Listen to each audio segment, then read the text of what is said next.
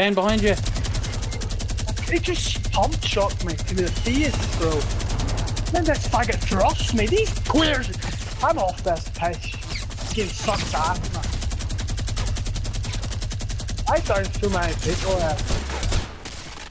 Yeah, what, what, where do you think you're gonna shot from, you?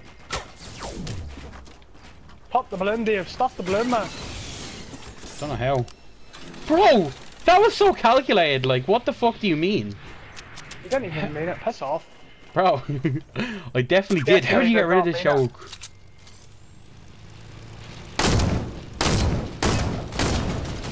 What the fuck gun is this?